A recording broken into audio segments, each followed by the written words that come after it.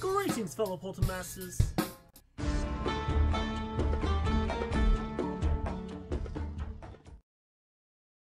Boy, it's been a while. I haven't ranked anything in a while unless you count which fast food restaurant is the best one on Skip the Dishes. Spoiler, it's Wendy's. Get the chili cheese nachos. They're the greatest thing on the menu.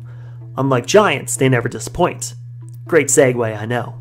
Giants is my least favorite in the franchise, but they did do something kind of great releasing Giant Skylanders. Eight new Giants were released with one from each element, giving us something unique for a brand new franchise. My only issue? Only a few of them are pretty perfect. Let's rank them. As always, I'm Crash Rowsell of Crash the Skylands, and this is every giant ranked from worst to best.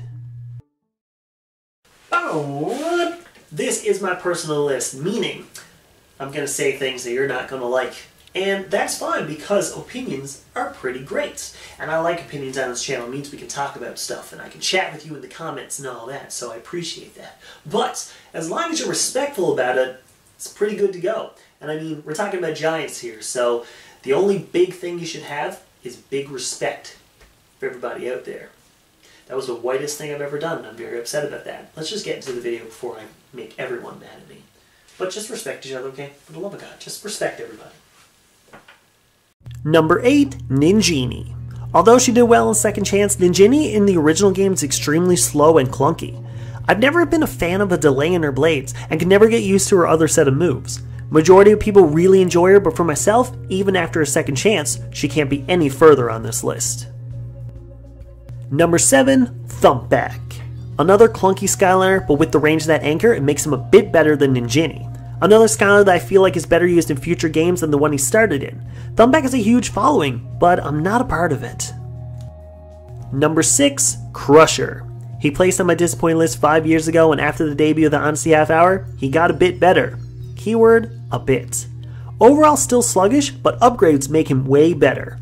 Depending on the path you take, he becomes great, but compared to everyone else on this list, not that great. Plus, he uses his father's head as a weapon. Like, that sounds illegal. Number 5, Hothead. Looking at his overall moveset, it takes a special kind of someone to make this work. Myself, I can get a good feel for him, even rank him decently high during Honesty Half Hour's beginnings.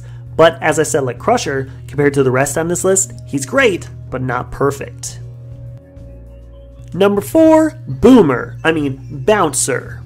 Mixing up his name numerous times aside, Bouncer is basically an upgraded Trigger Happy. As a fan of spam attacks, his gun hands make me extremely happy along with his rocket shots. The only downfall is the laser eyes, as I can never get them right, but as always, I'm playing with him wrong.